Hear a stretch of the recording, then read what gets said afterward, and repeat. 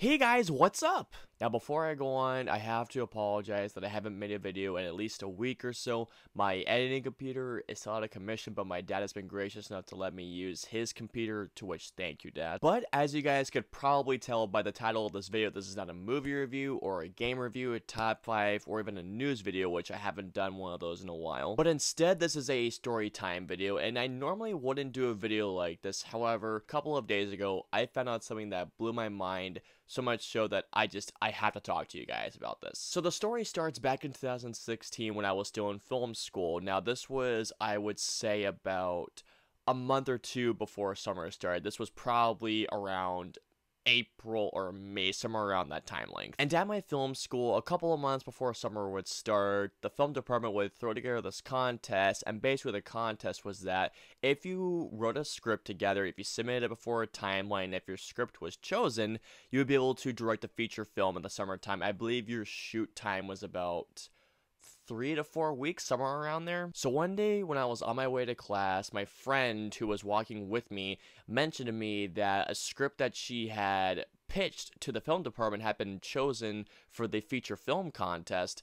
And I said to her, Congratulations. And she mentioned to me that when she was going through the roles, she thought that I'd be perfect for the lead role. And I said, Interesting. And, and she asked me if I'd be interested in probably auditioning. And I said, You know what? Yeah, that sounds like a lot of fun. So she told me that she would send me the script that night. And she told me to basically come in the next day and read a few lines from like two scenes. So when I got home, I read the script, and I'm not gonna lie to you guys, the script was really cheesy, it was formulaic, it was can be, and it basically felt like every other teenage comedy done in the past like decade or so. But at the same time, I thought, you know what? Having just any experience, whether you're on set or post production or even pre production, is better than having no experience whatsoever. So, of course, I met with her the next day, read a couple of lines to her, and she read back a few lines with me. She told me after I read that she loved what I did, and she asked me if I would come in for a second audition and read against a couple of other people. And I said, Yeah, sure, that sounds fun. So, a couple days after that, in the morning, I came into school once again and I read again some people who are actually good friends of mine who would be playing as the bully or the antagonist and the antagonist's friends. The read went absolutely fantastic, and she loved it so much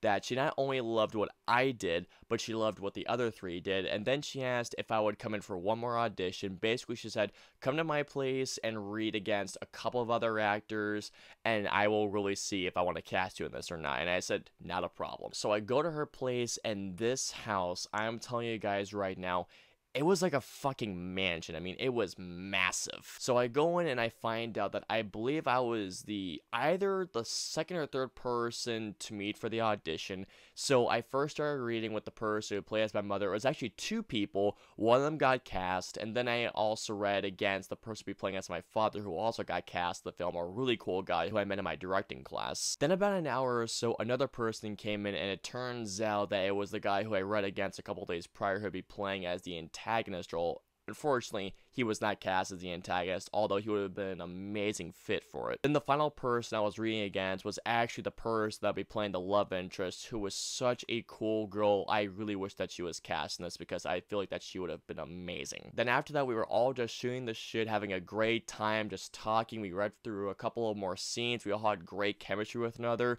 And after we left, the director said, you know what? I think you're perfect and I want you to play in this role. Not just me, but my friend who was going to play as the love interest and my other friend who was going to play as the antagonist. And she said, I'll give you guys a call in the next week. We should start shooting in the next like week and a half or next two and a half weeks. And I said, awesome. So cut to a week later, I get a text from the director saying, "Hey, do you have a minute to talk?" And I said, "Absolutely." So she called me and she said, "Hey, how are you doing?" And I said, "I'm doing well." And then she said, Well, I have some bad news, unfortunately. I said, Oh no, what's going on? And she mentioned to me that while she loved what I was doing and she wants me to be the film because she thought I was absolutely perfect for what she was looking for, the producers want someone with more experience. To which I did understand because I don't have a lot of acting experience, as you guys have noticed. If you have seen my short films, I only acted in one of them, which was The Portrait.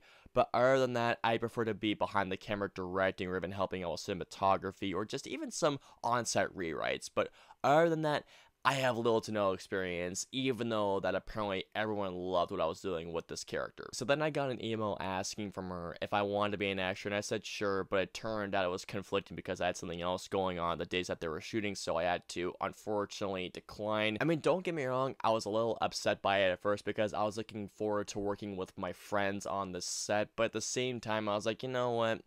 I have other things going on right now and, and I just cannot do it anyways. So then, a couple of years later, I believe this was like, what, four or five days ago, somewhere around there. I go on my Facebook, and a person who I had met who was an actor on a short film for a student film at my film school, I post the picture posting her credit on a film, and I saw the title name swiped, and I just thought, why does this sound so familiar? And then I watch the trailer, I hear Jungle, which was basically, well, to give you guys a little synopsis on the plot, basically it follows a character who goes to college, and this person named Lance, who is supposed to be played by my friend at the time. He was played by in the film Noah Centineo, I think his name is. I'm sorry if I butchered your name. But basically, this guy named Lance hires James to make an app called Jungle, which is supposed to be the biggest hookup app possible out there. So then when I heard Jungle, it clicked and I just thought, holy crap the film actually got made. So then I go on Netflix, and I'm not even joking with you guys. I go down to spy a few titles, and I see that this movie, Swiped, was picked up by Netflix. So I just want to repeat this real quick. I was this close to being in a film that was picked up by Netflix.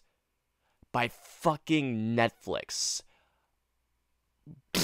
Seriously, that blew my mind. And I actually texted my friend who was supposed to be playing James's love interest, who James's was supposed to be the character I was going to play. Oh, and by the way, in case if you guys are wondering, this is the guy who was cast in the role that I was supposed to be playing. But I texted her saying, okay, this is going to blow your mind. Remember that one film we were going to be cast in, but we didn't get cast at the last second? And she said, oh yeah. And I said, well, guess what? That film is on Netflix now. And she said, wait, what? But it just again, I'm gonna say this once again.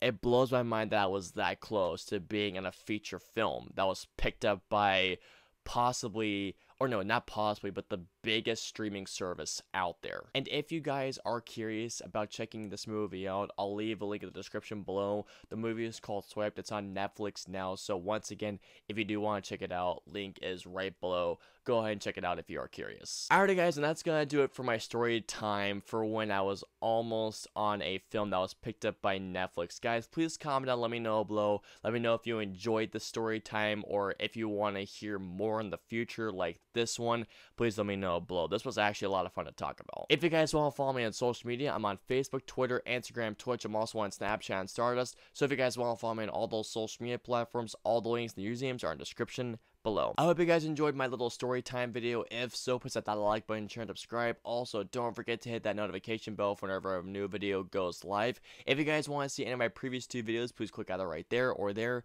And of course, until my next video, I will see you guys next time. Thank you all for listening.